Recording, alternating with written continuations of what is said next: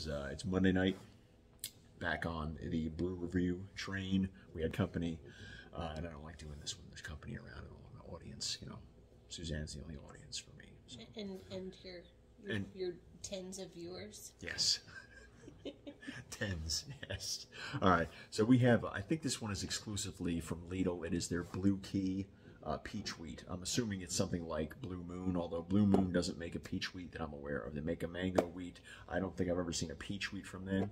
This is from the brewed and bottled by Central Virginia Brewing Company in Crozet, Virginia. Crozet? C R O Z E T, Crozet. Oh wow, yeah. All right, it is a 5.1 percenter. Want it to be pronounced.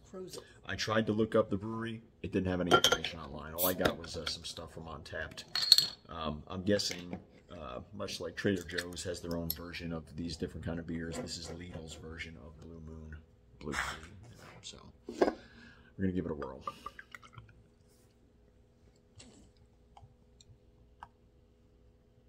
All right, it is mm, sort of hazy. Not not crazy. Oh, well, there's the haze. All right, so all the sediment was at the bottom. There you go. All the peachness.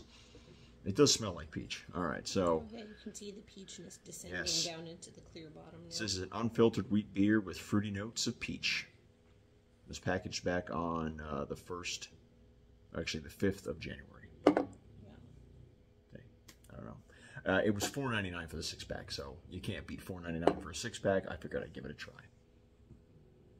It does have a nice peach aroma. You are a wheat loving motherfucker, so It's nice, not too sweet. Uh, it does have a good peach taste to it. It's very refreshing. It's very Blue Moon esque. So I'm guessing it is, you know, it's much like Blue Moon. I mean, shit. So yeah, a lot of sediment at the bottom. I guess you should probably, I should have probably stirred this up a little bit more because I can actually see it. are you recommending that the viewers shake the beer? Uh, when it gets to about down here, like label, the end, then shake it up to get that sediment. Yes. Not before they open it. No, definitely not.